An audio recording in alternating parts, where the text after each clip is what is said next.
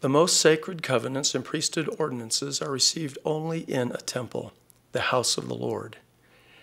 Everything that is learned and all that is done in the temple emphasizes the divinity of Jesus Christ.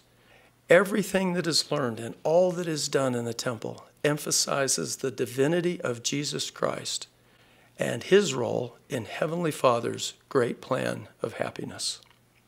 Covenants that are honored steadfastly remembered always, ordinances that are received worthily and remembered continually.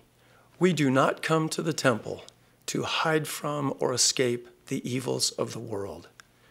Rather, we come to the temple to conquer the world of evil. We do not come to the temple to hide from or escape the evils of the world. Rather, we come to the temple to conquer the world of evil. Understandably, the announcement of each new temple is a source of great joy and a reason to give thanks to the Lord.